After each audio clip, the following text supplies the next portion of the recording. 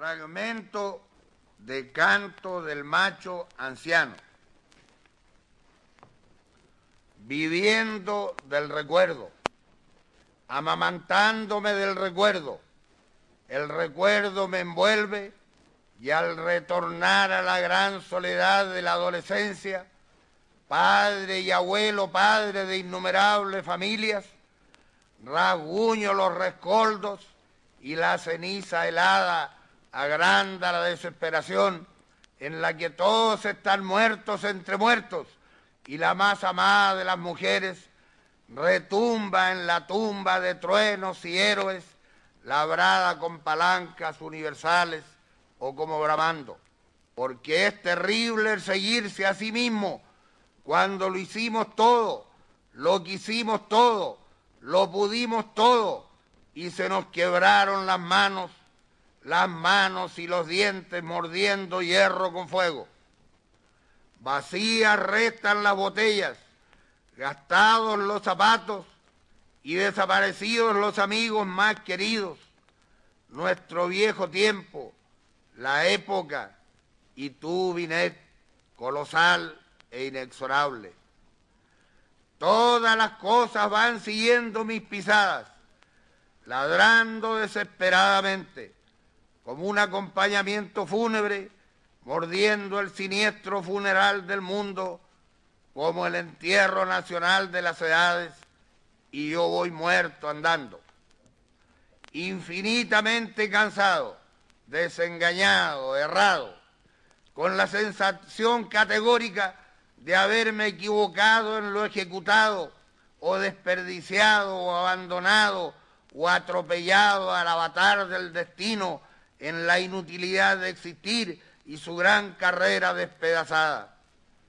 Comprendo y admiro a los líderes, pero soy el coordinador de la angustia del universo, el suicida que apostó su destino a la baraja de la expresionalidad y lo ganó perdiendo el derecho a perderlo. El hombre que rompe su época y arrasándola le da categoría y régimen pero queda hecho pedazos ya la expectativa. Rompiente de jubilaciones, ariete y símbolo de piedra, anhelo ya la antigua plaza de provincia y la discusión con los pájaros, el vagabundaje y la retreta polillada en los extramuros. Está lloviendo, está lloviendo, está lloviendo.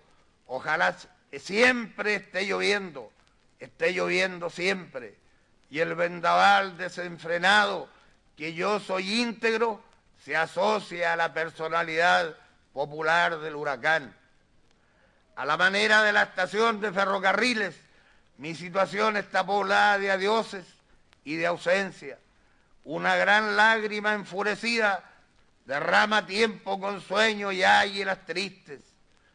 Cae la tarde en la literatura y no hicimos lo que pudimos cuando hicimos lo que quisimos con nuestro pellejo. El aventurero de los océanos deshabitados, el descubridor, el conquistador, el gobernador de naciones y el fundador de ciudades tentaculares, como un gran capitán frustrado, rememorando lo soñado como errado y vil, o trocando en el escarnio celestial del vocabulario espadas por poemas, entregó la cuchilla rota del canto al soñador que arrastraría dentro del pecho universal muerto el cadáver de un conductor de pueblos con su bastón de mariscal tronchado y echando llamas. Escucho la muerte roncando por debajo del mundo, a la manera de las culebras, a la manera de las escopetas apuntándonos a la cabeza, a la manera de Dios que no existió nunca.